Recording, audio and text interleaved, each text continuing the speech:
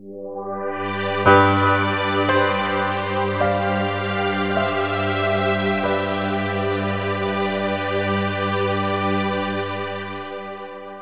you, everybody, for being here. It's been an adventure getting this panel together, but I think you'll all be entertained and educated. Um, We've got a great um, lead speaker, keynote speaker coming in, but Kevin O'Sullivan, who's a legend all his own, is going to come up and tell you a little bit about him, and I'll let Kevin say a little bit about himself at the same time. Um, You're in for a treat, I- I'll just say that. Um, I run uh, MBI, Mass Biomedical Initiatives here in the city. Some of you may know of us, some of you have uh, incubated with us. Uh, We're focused primarily on life and health science companies, uh, highly sophisticated BL2 laboratories. So the Innovation Center or Running Start really complements what we do in terms of robotics or office space or whatever, because I always say we're not in the office business, we're in the straight lab business. Um, Obviously, as Joe hit the nail on the head, our job is to try to get people out on their own. And uh, quite frankly, we've been very successful uh, over the years because uh, of the companies. We're all about our companies. We have 35 laboratories in four uh, different facilities throughout the, throughout the city. Um, and obviously, brains and innovation are, in abundance across the state. So at the end of the day, it's about moving them on out and uh, being successful in uh, not only creating a company, but more importantly, building the economy with jobs and everything else that comes with it.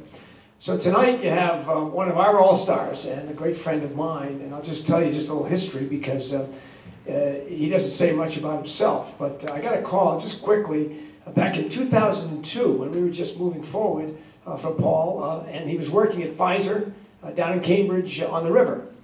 And I went down, had lunch with him, and it was really funny. He had an idea about protein synthesis and had a great job as a, you know, as a, as a scientist. Uh, was getting his master's at, uh, in business, MBA at BU. Um, and he had this fascination, you know, when you run into entrepreneurs. And one of, the, one of the things I love about my job is I hang out with people who are so smart. And they're smarter than I am. But, you know, they have this vision of where they want to go. And, and Paul had that vision. And when you've been at it for a while and you sit there and you listen to someone, you, it just exudes. And uh, Paul had a great vision, but he needed a place to go. Uh, and I remember him saying that he was ahead of the curve on contract manufacturing and research. And in essence, back then, all the biotech companies and all of the pharma companies were all kind of doing it all in-house. Well, he stepped out ahead of everybody and said, they'll come out if we provide the quality and the cost and the service and the locale. So I remember saying to him, well, what's the chance of Pfizer giving you some business? And he looked at me, I'll never forget it, Paul, and you said, you didn't say 75, he said, like, like a scientist, oh, about 70%. I said, well, what the hell are you doing sitting here? Let's do it.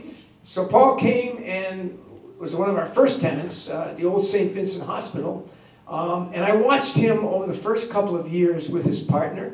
And those were rough times, up and down. And I remember I was pretty kind of sensitive. At the end of the day, you always got a chance to talk to the entrepreneurs if they had a good day or a bad day. And with Paul, you know, I, I admired the fact that he's always stayed up or he went down. But whatever it was, he always kept that vision out in front of him. Well, the long story short, um, he's now on the board. He has sold off part of his uh, share.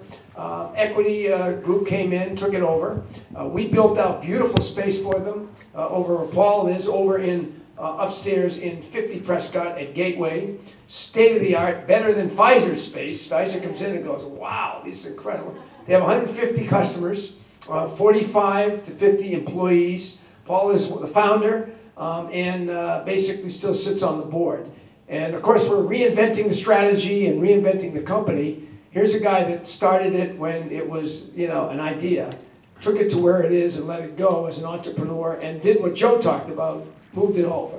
So, anyways, it's a successful company, and we're very proud of uh, him, Paul, and uh, his company, and he'll tell you a little bit about it tonight. Fascinating story, and please hold your questions because I think it'll be a good discussion, and then he'll sit on the panel too. Please welcome Paul Wengender.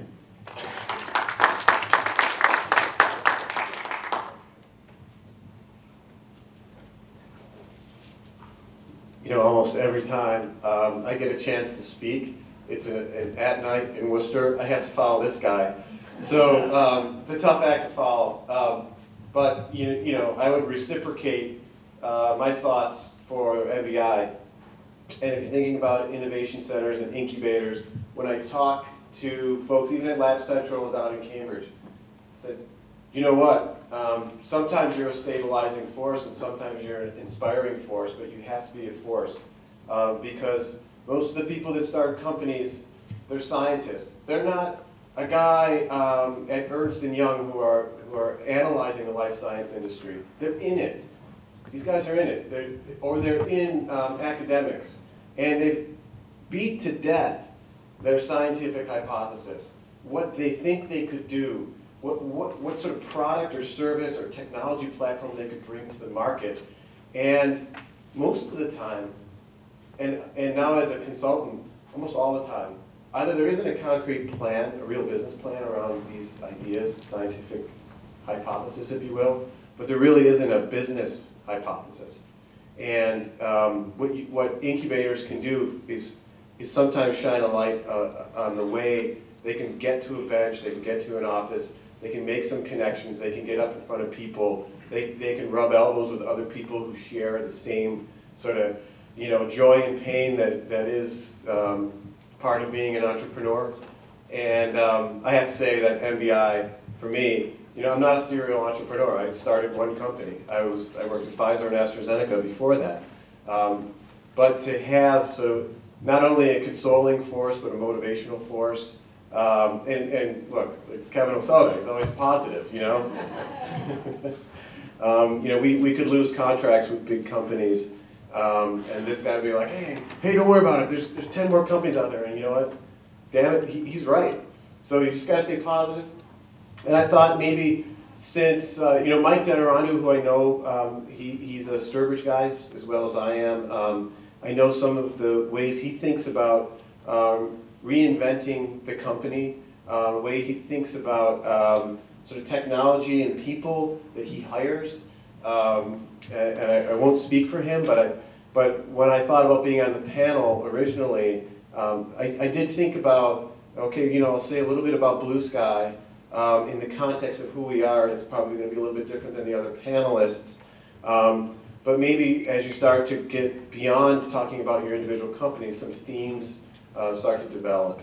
And so a little bit about Blue Sky, and then I'll talk a little bit about um, where tech companies probably need to be and some of the lessons we learned in that, in that uh, sort of growth curve that Kevin talked about, especially the first two or three years.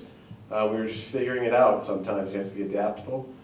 And uh, you know, the third part is really, um, and I said this to Christine before we, before we, we, we uh, came out here, I was talking about um, the question and answer session, and you know, whatever the question is, the answer is almost always people.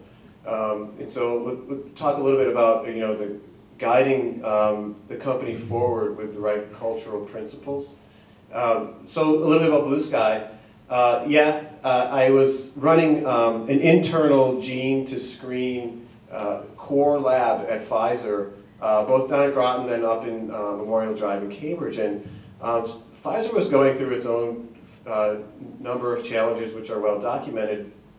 You, you know, patent cliffs, et cetera, and looking at ways strategically they can move and be lean, uh, but still focus on their core competencies. And one area, unfortunately for me, was that gene to screen space. I mean, we're talking about the first zero to two years of a 16-year idea to drug pipeline. Um, and in that zero to two year space, you know, we'll, we'll clone a gene, make a protein, make a cell line. That's a tool for structural biology, HTS, high throughput screening, or uh, biological. All right. So uh, the director at uh, Pfizer comes down to me, um, and one day says, "Paul, you doing a great job. This is this is you know things are going really well. Your team totally delivers, but you can't hire anybody. You- You're not going to grow your team. Um, what we are going to do is we're going to give you a wheelbarrow full of money, and you're going to go out and find vendors." Right, and so it was at that point where I said, well, Pfizer is doing this. They're looking outside. I was getting my MBA in entrepreneurship at BU. So I'm going to write a business plan around actually doing this for Pfizer, Merck, Novartis, um, Sanofi, Aventis. They've all changed names. It was 2002, so I used the up-to-date names. Um, and, and sure enough, we had some first customers. We launched into MBI out here in Worcester. Started with two people. And, um, you know, we grew to 45 in 10 years, and um, we hit all the exit points that we needed to hit uh, for the early investors and for the, for the founders as well.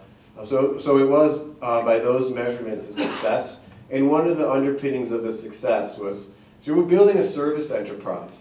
We, we have pharma-trained um, employees for the most part, as well as a lot of the great young minds around here, at WPI and Clark and Holy Cross, hiring from lo- local um, and, and getting them, uh, I don't want to say brainwashed, but um, just getting them to absorb and immerse themselves in the culture, a service culture around biotechnology.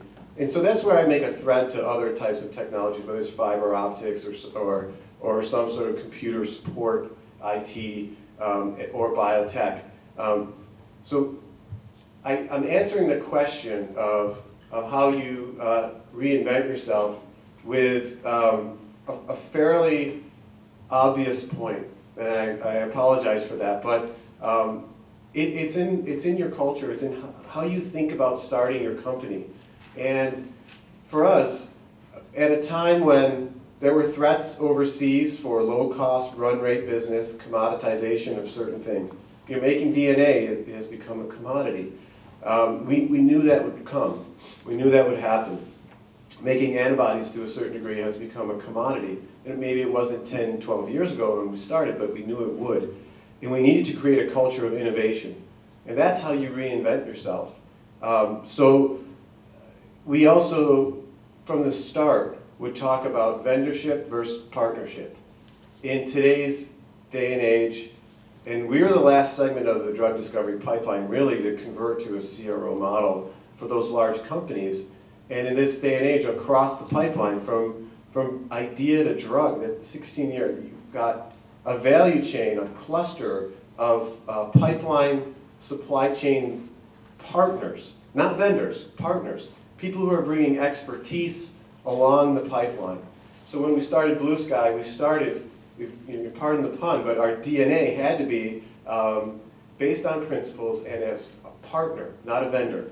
You know, we're not going to continue to do something for five or six years that's a conveyor belt, uh, you know, automated technology because we're hiring really smart, critically thinking people. Um, our intellectual assets are uh, levered in a way that we want to be problem solvers and solution providers, um, not just a turn crank machine, because that turn crank machine is not going to be around for long.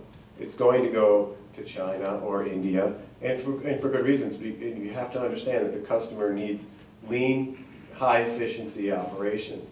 So we need to keep a level of uh, intellectual assets high, a high degree of critical thinking within our labs. And of course, we can build things that are first to market for that turn crank and, and capture margins with it. And, and really, that's the story. I think one of the big underlying stories for Blue Sky's success is that we adapted quickly to changing market demands in a way that um, we were able to uh, listen to the customer, but also we had agile thinking intellectual assets, our people, um, that could listen to the customer, bring it back, tailor it, or, or come up with a new, a new service that then we could, let's say if we did it for Nov- Novartis, um, and Novartis liked it, and we said, you know, no one else on the market is offering this type of service, this type of delivery.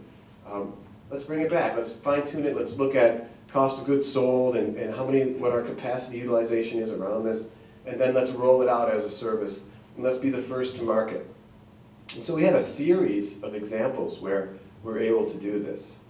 And the, the last part of, I believe, why, and it's also the hardest thing to recreate. You know, for years Kmart tried to be Walmart, or uh, American Airlines uh, tried to do, uh, tried to battle Southwest.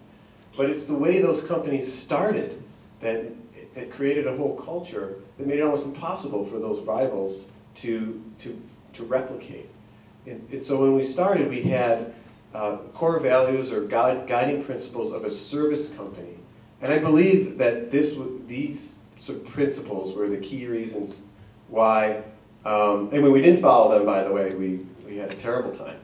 Um, and and we, we had these it sounds corny, but we had five Cs. We didn't have a mobile um, hanging from the hallway when people come in, but we had, we had these, these five Cs, and I actually, this is one thing I wrote down before I came over. So the, the first three, the five Cs were continual self-improvement, constant team innovation, and the customer is the boss.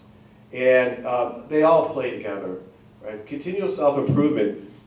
Uh, in 2009, we hired nine students um, that had just graduated in May, from around here mostly. Uh, probably half of them, well, half, okay, five or more, were from WPI. And um, with the idea that we had this backlog, we knew, we knew that Pfizer was going to increase their orders, Merck was going to increase their orders, and a few others. So we need to immerse them into our, into our culture, you know, stand alongside existing scientists and have not just the techniques, but also the philosophy of the company get absorbed. And we also would preach to them that if you're improving your skill sets at a certain rate, the sky is the limit, right? So each uh, bachelor's in um, biochemistry come in, listen, um, if you learn this technique, and we would send people off to school or, or short courses to learn it, you're not only improving yourself, but you may, you may be the steward of a new service. We have several examples of employees who, some of which are still at Blue Sky, who started out, you know, 10 years ago um, as uh, technical scientists and are now directors because they just continued with that philosophy that they needed to be aggressive, um, proactive with their own careers. So be a little bit selfish about your own self-improvement, all right? Because odds are nobody cares as much as you do about your own growth. And so we try to instill that in everybody and demand that they get to learn new things, okay, spread out. And, and we know that we can always reinvent um, our service offerings around flexible, dynamic people who want to learn more. All right, that was one thing. So we, we always talk as companies about continual improvement. We kind of drilled it down and put the onus on each individual. And, and by the way, we had, up until 2010, 85% of our company was in the lab. 15% business, accounting, finance, and, and other things. Um, so we were very focused on the engine of the company. That was our core. Um, so the, the other C, second C, constant team innovation. Well, um, that goes without saying. Right? So, so this ties in actually in some ways with when we do talk to customers. We'd get out to talk to customers. Communication is one of the, one of the other C's, one of the five. Communication, and customer is the boss. Well, okay, those all work together. We bring, we bring information back from the customer. The customer says, I am resource constrained here on um, bacterial artificial chromosomes, but there isn't a single vendor out there who makes bacterial artificial chromosomes. Um, is that something the you know the well of experience and and skill sets at Blue Sky that you you could do? And a salesperson would say, well, no, it's not in the catalog, but we're a partner. And so they'll, they'll take that back and say to Norm, our CSO, Norm, they're asking for bacterial artificial chromosomes in the company's Takeda. They're big, and they probably need a lot of it. And, and, the, so the culture at Blue Sky's like, all right, let's do it. Well, let's figure out, you know, let's just spec out the, the labor time and, and see if we can get into an evaluation phase. And um, the team needs to innovate around it. It's always, it's always more than one person, right? So there's, there's a concerted level of activity for, like, like just for that activity. There, there are three or four people in the process to create a bacterial artificial chromosome. And um, lo and behold, you know, it wasn't perfect the first time, but we kept listening to the customer. Customer's the boss. They're not always right, but they are the boss. We were, we were very careful about our language. Um, they, they, but when, when they're wrong, you actually, actually have to have a little more finesse than we have had sometimes. All right, um, but you know we're not perfect. The, the, but the last component of it for me, the last C, is, um, capacity utilization. And this one sounds like a business term uh, 50 years old, like a factory. But when you really look at your company, and you're a service company, so remember, uh, we came at this from uh, resource allocation, return on labor, um, how are we getting the most out of our, our, our people? And in a service industry, especially ours, the demand curve ebbs and flows. We had to develop a model that fit all those other Cs and the ability to be adaptable. So not just listening to the customer on what's new, but sending people out to shows. Look, we knew that um, in December we were going to be at 100% capacity utilization. We also knew that in August we might be at 50 or 60%. So there happened to be a lot of shows in us. Send people out to learn more, bring it back, and we use 10 to 15% of our retained earnings to fund internal R&D to come up with our own services, not just uh, relying on the, the, the market to pull new services in, um, listening to the customer, but also invent our own. And um, I can't tell you the number of times rivals, um, competition that also turned into co-opetition um, in, the, in an industry that Blue Sky was in and still is, uh, that our rivals would come over and say, how the hell did you guys find time to invent that or, or create that service? So it's just part of who we are. And um, it's also because when you do that, you can stay out front, capture greater margins, the life cycle of a service or a product, capture greater, greater margins um, in the beginning um, that um, eventually, if you're not changing, it gets cannibalized. We all know the life cycle. Um, but with those margins, then use, use it, funnel it back into an R&D pipeline. So Blue Sky was actually um, fairly successful. We made a lot of bad decisions, but um, in, in the spirit of being a partner and um, focusing on you know, continual self-improvement as well as team innovation, uh, we were able to stay ahead of the curve enough um, with, with the different services and platforms that we rolled out uh, to build a decent-sized company out here in Worcester. So uh, with that, I'll, I'll, I'll take questions.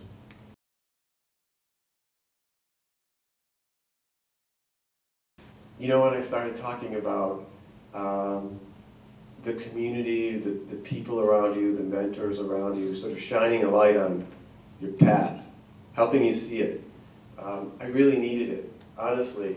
I think I, I think I do. I did have the um, energy and the drive and the adaptability, the flexibility. You know, we re rewrote our business plan every 18 months, but I wouldn't have never, I wouldn't have ever written the first one um, if it weren't wasn't for my mentor Pete Russo at uh, BU, who was uh, the he's head of the Entrepreneurial Management Institute there, and I actually had another. Um, uh, uh, advisor, and I switched to him after taking his class. I said, I've got to follow this guy you know, um, and it really, you know, for a scientist by training, um, you know, eight, eight, nine years in labs, in, in uh, from bachelor's, uh, graduate school, and, and then, you know, dropping into a, a lab at Pfizer and, and, AstraZeneca, it was, it was still scary to, to look out uh, over the wall. And at the time, we had our first kid and all the other things you hear about.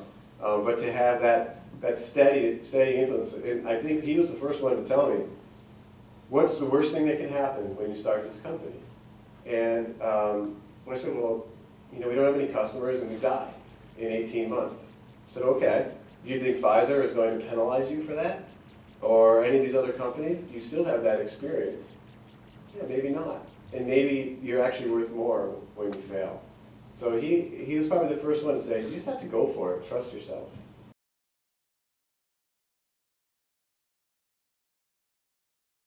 When we opened our doors. Oh, this was amazing. Um, the guy who I started the company with, his name is Mike. Mike, uh, one of the smartest guys I've ever met. Um, and, uh, you know, he's a Harvard kid, so don't hold it against him. But he, he, he, he brought forward um, an amazing sort of can-do attitude and mechanical sense about him that um, he replicated a, like a Pfizer lab there at uh, 25 Winthrop Street in probably two weeks. And so we did, you know, it's a classic. We, we over three months, uh, bought all kinds of equipment. We were running around all the used, we went to auctions, and the garages are filling up with equipment. And then we got together with Kevin and said, you know, we're moving in April 1st, something like that, or, um, and then within, well, within a couple of months, we were operational, but we had, we actually staged it so our first, we had jobs already with, with Pfizer, AstraZeneca, and an old company, maybe some of you remember, called Arios up here, for the first three customers. And we had jobs lined up with all of them, and they were just waiting for us to get everything built, so we had that sort of incentive. By the end of the summer of 2003, uh, yeah, we were chugging along.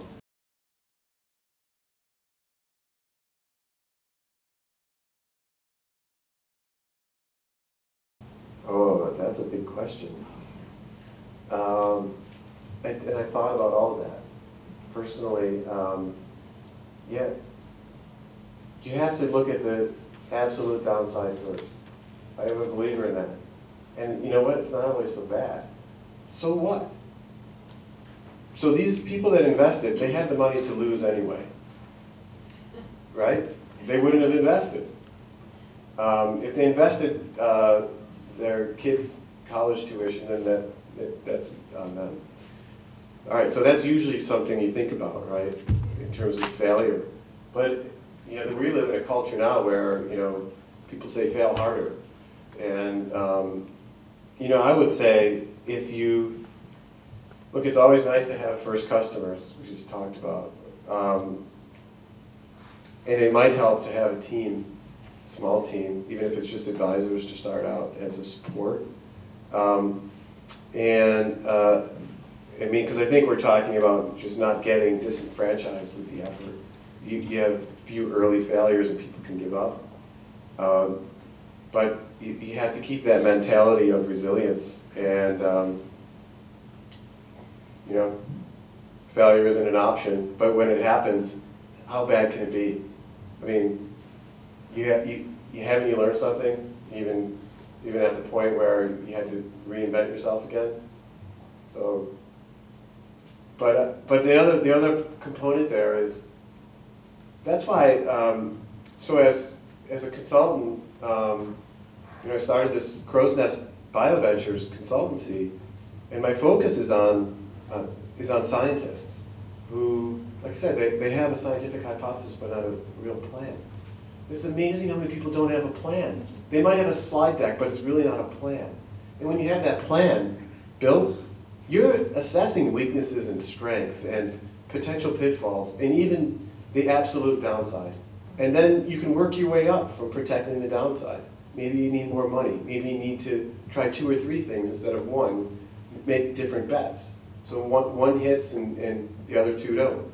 Um, I don't know, are just, just different examples, but the plan is critical to the, the first question. I wouldn't have started a company without a business plan because it, it, I trusted it. Trusted the plan, even though it was only 40% correct. we had to rewrite it in 18 months. But you just had that confidence, you know, when you start. Well, well, Pfizer um, was paying for it. uh, these are the glory days, uh, so it's a little bit tougher now. They, they, they, Pfizer had a limo in, in, in Cambridge, so they would pick me up in the middle of the day and take me over to BU, and then, and then the driver would pick me up in BU and bring me back to my job. It's actually pretty cool. So why not? No, um, actually, I, was, the, the same guy, one of my mentors at Pfizer, he came down and said, you, you should augment your, you, you know, a lot of the PhDs here don't have the management skills you have, um, and the leadership skills that you have. You should go to school, bring, bring, um, you know, some of the, the core things you have in, uh, to, to an MBA and build in around it different concepts. And, um, but, but that was just the start, really. Um, there's a lot of, I take the same advice that we give the employees, continual self-improvement. I'll take some MIT, like technical marketing for um, um, executives, classes, and you meet a lot of different people, you, hear their war stories, but you also, there are things day to day in a company that you just can't possibly learn. And when you break out or go to something like that, you really can learn a lot. You know, some of the best case studies in graduate school were about McDonald's or Dunkin' Donuts and stuff like that, um, that I just wouldn't have forced myself to do. I'm, I'm not that type of person.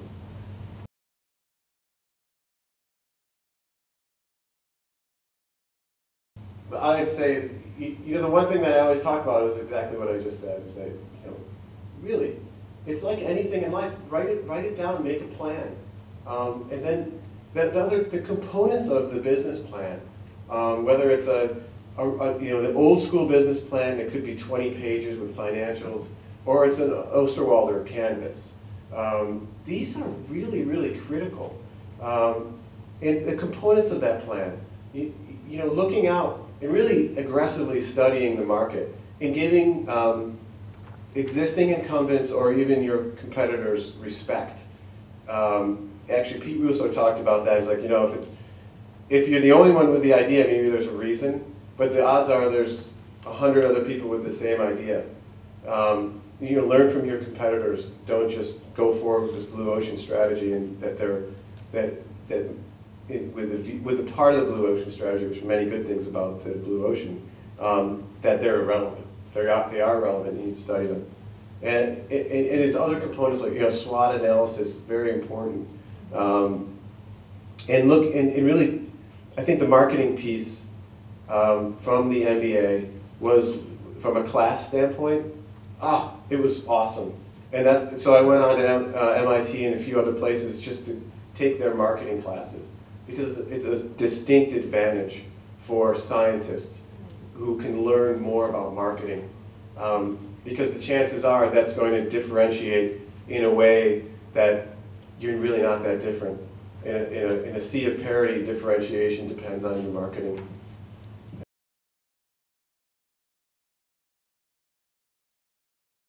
I think we, we had, uh, we were creating a market because we were aggressive with our marketing. So we were creating awareness around the option to outsource um, the, the bundle of activities that Blue Sky did. I can't tell you how many times we heard in the first couple of years, uh, why would we do that? Or um, um, we, have never heard of who does that, that, that, bundle of activities in one house. Um, so we were, we, were, we were very proactive to educate the community on what options they had. So obvious, obvious and fortuitous for us that a lot of the large pharma were grinding themselves into the earth, and then you had all, all these other small companies popping up. You know, you know the, the Epizymes and the Momentas and, and the Bluebirds and the others that we all read about today. No, these are all, you know, a lot of them, ex-pharma. So um, they, back even, even 10 years ago, um, would say, oh, we didn't know that existed. We don't have to build that lab. We don't have to spend a million dollars to build a gene to protein lab. We'll just we'll stay lean, we'll focus on the, the chemistry, maybe downstream or the antibody, and we'll have Blue Sky do that early stuff. You know, we, one of our, um, you know, if was, there were customers on a wall for Blue Sky, one shining example of that is Sirtris. So, anybody know Sirtris? Remember those guys, Sirtris Pharmaceuticals? They cloned, expressed, and purified um, 21 members of a sirtuin epigenetic targets and GSK bought them for $700 million. And Blue Sky did probably 75% of the production of the, those sirtuins that, that they were screening. And they, at a time when epigenetics was, was, was blowing up in terms of popularity uh, for drug discovery, they got to market really fast because they decided not to build the gene to protein workflow.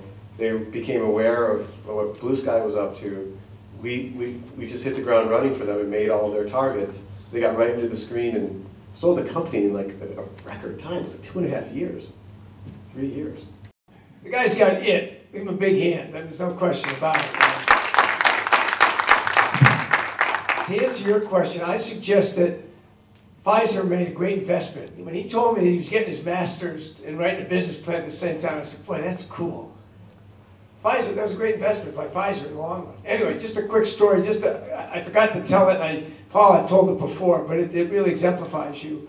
Um, some of you know I'm a runner, and I get out and run the roads or whatever. And you know, I was running with about 5,000 of my closest friends down in Narragansett, Rhode Island, on Friday night during the summer. You know, they do this Blessing of the Fleet race, and so I'm running with this guy that runs with me about the same. Where are you from? Upstate New York. Where are you from? Worcester. Worcester. Worcester. He said, yeah. He says, what do you do? I said, well, I'm in the biotech business. Said, biotech? Yeah. He says, do you know Blue Sky Biotech? I said, sure, I know Blue Sky Biotech. It just so happened they're in our incubator. He says, you're kidding me. So I'm running along, I said, what, how the hell do you know about Blue? They just started Blue Sky Biotech. I said, you're from upstate New York. He said, I invested $10,000 in it. I said, what? He said, I invested $10,000 in it. True story. So I'm running along and I, you know, I don't want to get too nosy, but I said, what the hell is a guy from upstate New York, young guy like you, investing $10,000 in a company, you couldn't you didn't even know what they did.